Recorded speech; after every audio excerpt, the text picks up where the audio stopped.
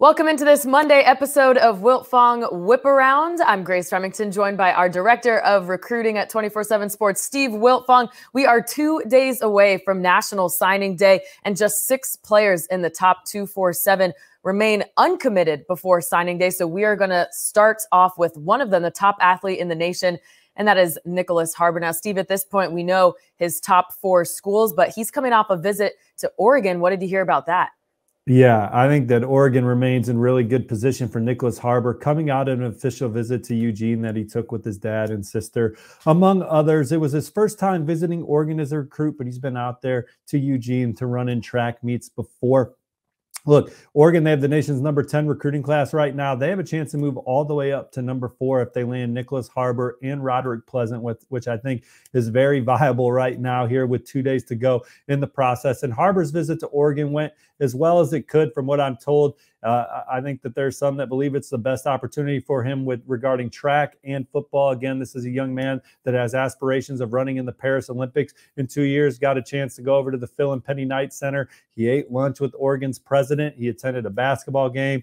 Uh, obviously, got an exclusive track tour. He posted his visit to Hayward Field uh, on his Instagram. Uh, Oregon had a track meet at Texas Tech, but their track coach stayed back to spend time with Nyckoles Harbor to show you what kind of recruit he is uh, for Oregon on that side of the fence. And look, when I asked uh, Nyckoles Harbor's dad what the, what excited them most about Oregon coming into the visit, he he said Nike right away. So uh, certainly a lot of Nike uh, pizzazz with, with, with this visit, uh, but obviously spent a lot of time with Coach Lanning and his staff. Uh, certainly, you eat a lot uh, when you're on these visits, but I think that Oregon continues to be in really good position for Nyckoles Harbor right now uh, as this recruiting process comes to an end. Now, uh, South Carolina, yeah, I know there's a lot of confidence around the Gamecocks in, in Columbia. Uh, no program has probably done a better job of building relationship with Nyckoles Harbor from the staff to the recruits in the class.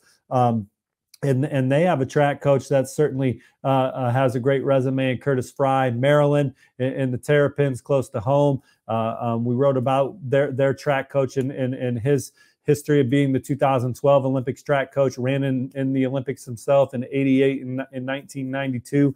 Um, and, and, and, so Maryland uh, still hanging in there in that recruitment in, in, Michigan as well. But I think that there's some really good momentum here with, with Oregon coming out of the official visit. We'll see what happens with Nyckoles Harbor now as he can really hunker down and go into decision mode. All right, another recruitment that everyone's been tracking closely is that of Jaden Rashada, rated the number six quarterback in this cycle. We know he's made plenty of decisions and indecisions.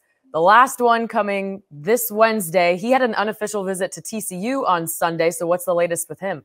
Yeah, I was on the Horned Frogs campus this weekend, and things have really been picking up with TCU since he was let out of his letter of intent with uh, Florida. And I think that uh, his past relationship with Kendall Briles, the new OC, has put TCU in prime position here. Got a chance to go to TCU's campus and spend a lot of time around Sonny Dykes and talking to people that spent time with Jaden Rashada. The feedback was all positive. Uh, it sounds like he really enjoyed his visit uh, said all the right things to people when he was on campus, but wants to go home, not make any emotional decisions. You know, Arizona State was on campus there two weekends ago. They remain a factor. Uh, the Sun Devils have done a good job recruiting Rashada and his family there. Uh, but I think that uh, there's reason to believe around TCU's campus that they still have a good chance of landing Jaden Rashada here at the end of the process after talking to some people that spent time with him on his visit. And I also think that the city of Dallas being in that Fort Worth area and the excitement of just being in that bigger city uh, with all the opportunities that uh, young men have uh, from NIL standpoints and everything uh, uh, with Dallas Fort Worth is exciting as well. All right, And we had a handful of commitments coming out of this weekend. So let's do a Wiltfong Whiparound here. Catch us up on the latest where everyone's going. Yeah, there were several young men that announced their college decisions over the weekend. Let's highlight five uh, big time commitments that happened over the weekend. In the 2024 class, you have a Darius Hayes. Um, you have a Darius Hayes, top 247 linebacker from Largo, Florida, who announced his commitment to Florida. The Gators have the number eight recruiting class in the country right now in 2024. And linebacker is a big need for them. Uh, Darius is, is a young man that um, had had 120 tackles, has over 100 tackles the last two seasons. A hard hitter uh, on film, a, a, space eater that can also drop in coverage. Nickname Hitman. You know, talking to someone around Gainesville, they feel that they just landed one of the best players in the country, not uh, only uh, a linebacker, but just in general. And he joins a class that includes Myles Graham, another top 247 player at the position, uh, who's a hard hitter uh, second level defender, a tone setting type player, just like a Darius Hayes. And this is a Florida team that had the nation's number 97 defense in the country this past year. Uh, I think they uh, recruited some really nice pieces in the 2023 class, especially along the defensive line with Kelby Collins and Cameron James leading that charge, and then Jakeem Jackson in the secondary. But they're going to need some big second level help here. They landed some guys in the transfer portal uh, to help uh, be a band aid or, or, a gap filler there. Uh, but 2024 linebacker recruiting, Florida needs to have one of the best classes in the country at that position. And so far, so good with Hayes and Graham in the fold. How about Georgia adding to the nation's number one recruiting class, maybe the fastest player in the class, Dwight Phillips? a running back from in state there. He's got 4 2 speed in the 40 yard dash, 10 4, 100 meters uh, speed. He's a decisive downhill runner that just needs a crease and he's got a chance to score. And he obviously, he's a dangerous runner on the perimeter with that speed. He's an angle eraser, but he can also cut and make people miss uh, Georgia landing Dwight Phillips this weekend. And they also could potentially flip running back Chauncey Bowens from Florida, who also visited down the road. Clemson, they hosted 24 prospects this weekend. We'll have more on that later in the show, Grace. Uh, but they landed a commitment. Champ Thompson, a defensive lineman from Meadow Creek High, there in the state of Georgia, a long, big bodied defensive lineman that plays across the front on the prep level. And you can see the twitch and power potential. Clemson has the nation's number 15 recruiting class. And talking to Thompson's coach, his athleticism and size combination and desire to be great are two things that really stand out about him. Oregon, we talked about them. They have a chance to finish with a top five class in 2023. They're already in the top 10 in 2024, nation's number seven class. Jackson Jones, the fit to commit out of Arizona. He might be my favorite player in the class so far. He's one of the most disruptive players out west. He wins with quickness, strong hands, power. He had 22 tackles for loss and 17 sacks as a junior. Another player that visited Oregon over the weekend that I still really like Oregon for is top 247 linebacker Justin Williams from the Lone Star State. And then Wisconsin, top 247 tight end Grant Stec, six foot six, 230 pounds from Illinois plays in like a Vera Wishbone type attack on Friday nights. But he lines up attached to the line of scrimmage. They flex him out wide. He can stretch the field as a pass catcher. He blocks. He makes hustle plays. He runs hard after the catch. He's a really nice pickup for Wisconsin, Luke Fickell and company early in the cycle.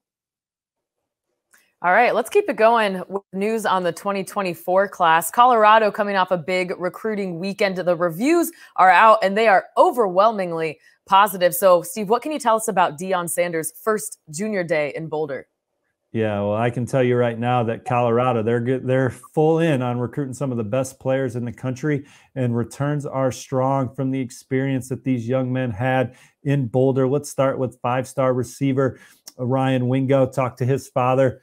Uh, during the visit. And first, they, they love seeing the snowfall in the mountains. They like the ambiance of Colorado's football program, but certainly uh, they called it, his dad said it was a great staff. He had some pre existing relationships with guys like Tim Brewster, and Nick Williams, but getting around Deion Sanders, Sean Lewis, and the rest of the staff excites the Wingo camp about that potential offense in, in Boulder. Uh, quarterback Daniel Kaelin's a, a, young man that has an early offer from Colorado that said it, it was a great visit. The number one offensive tackle in the 24 7 sports recruiting rankings Brandon Baker said the environment was great. A lot of people just talked about the family feel that's already around the program. He was one of them and how they're ready to work. DeAndre Robinson's a four star defensive lineman from the state of Florida who talked about the winning mindset on campus. Danny Okoye from Oklahoma, six foot five, 240 pound defensive lineman, loved the passion on campus. The energy is what Marcus Goree Jr. talked about. And, and so uh, uh, Boo Carter, four star from Tennessee, loved his visit. Some of the top players in the country in 2025 were blown away, including number one running back in the land, Jordan Davidson. He talked about the development, the player development that the program has, not only for you as a player, but off the field. Jaden Hudson, a safety, the number one player in California in 2025. Yeah, he also talked about the mountaintop views and everything, but just loved the vibe of, of Coach Deion Sanders and Coach Prime. And so, look, with Colorado, it's a program that they are going to go after the best players in the country. They're going to try and get them to campus and go from there. In this first junior day under this new staff, uh, paid major dividends for them. A player that there's no, there's no question that they uh, uh, love a lot is Juwan Johnson, a four-star athlete from the state of Louisiana. I think that they view him as a guy uh, that could be a difference maker on either side of the ball. But he called it a special place. Uh, I know that's someone that they think is a very special prospect, and and they certainly moved the needle with Juwan Johnson. I love hearing all their comments about the snow and the ambiance. It really is a beautiful place. Uh, that Colorado class currently ranks 19th Clemson's 2024 class ranks 15th, and the Tigers also hosting a junior day. Walker White, the number eight quarterback in the class, was one of the recruits to leave a glowing review. So, what can you tell us about the impressions that Dabo Swinney left on him and others? Yeah, so I'm told that Walker White was the last prospect, him and his family, to leave Dabo Swinney's house on Saturday night following uh, a junior day where Clemson really only invites their top targets 24 guys, all committable offers, all guys that they covet and would love to have helping them win their next ACC championship and beyond. Walker White was a young man that they offered uh, towards the end of uh, 2022. They get him to campus. Ole Miss had been perceived the early leader for him. He's been to Oxford several times.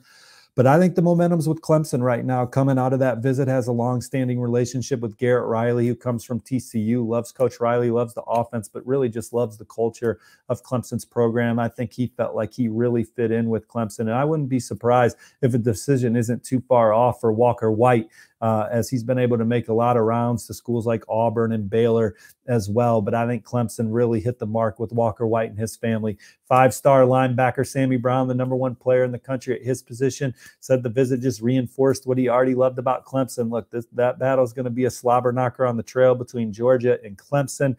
Uh, he's very familiar with both programs, been visiting and camping at, at them for an extremely long time gets back to Clemson, has another terrific experience with the Clemson staff. He loves the culture. KJ Bolden, number one safety in the country, number two player overall, could also play uh, receiver on the next level. He's already talking about coming back to Clemson for a spring practice in March.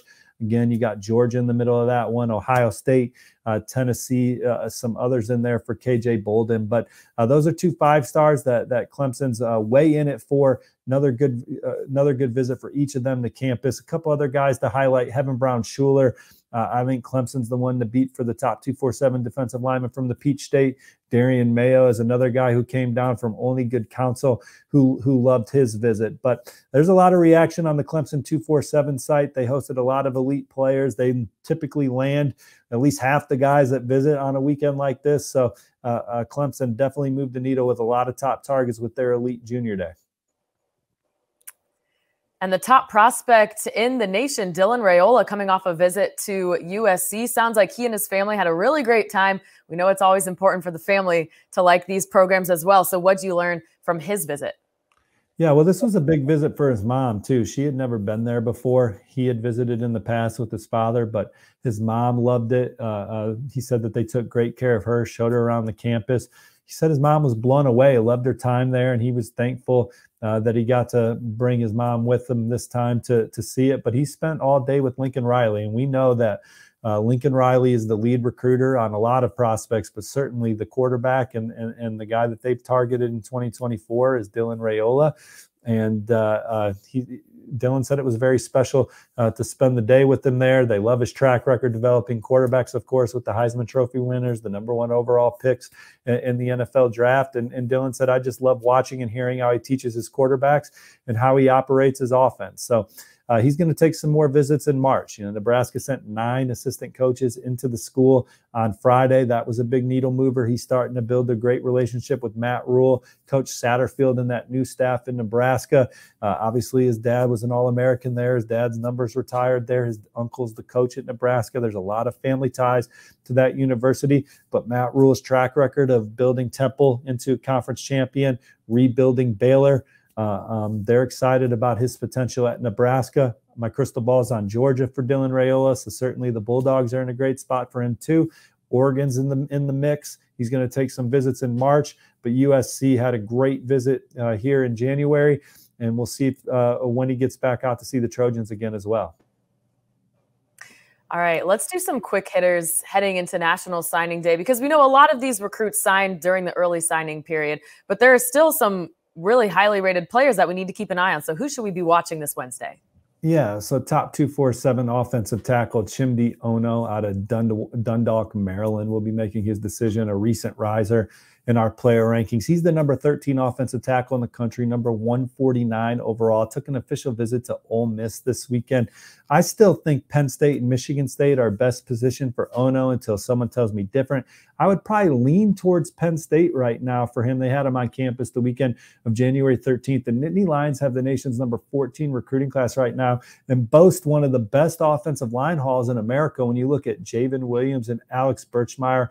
Uh, Alex Birchmeier, the number two interior offensive lineman in the country. Javen Williams, the number six offensive tackle. But those are guys that are versatile and can play anywhere across the front. And then Anthony Donkoh is a four star out of the state of Virginia who also brings some position vers- versatility. And if Penn State's able to add uh, Onoh to that mix, it would certainly be a heck of an offensive line haul for a program that I think is right on the cusp to compete for the college football playoff. And then Michigan State, Coach Cap, and those guys do as good a job as anybody recruiting offensive linemen. Michigan State has the nation's number 25 recruiting class right now. Uh, I heard he had a really good visit to East Lansing two weekends ago, and Michigan State has given him a lot to think about alongside Penn State down the stretch here as Mel Tucker looks for another top 25 recruiting class. And a bonus nugget there on the Spartans. They had five star defensive linemen in the 2024 class. David Stone back on campus this weekend. Another wonderful experience. This time he was able to bring his family two weekends in a row. He's in East Lansing. Uh, he just feels so comfortable there. Says it reminds him of home. Says everything stands out about the Spartans. No question, Michigan State's at the top, if not near. Or, or, or, no question, Michigan State's near the top, if not at the top, for David Stone following another visit. He looks forward to getting to Miami and Texas A&M, among other places in the future.